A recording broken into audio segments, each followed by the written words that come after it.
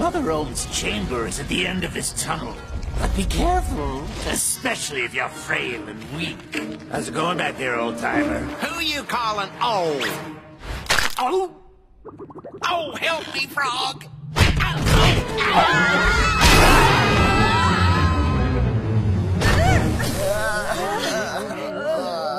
Sorry, kids, my ding-dang knee's been acting up again. Forty years of farming will do that to you. Good going. At this rate, you're gonna get everyone killed.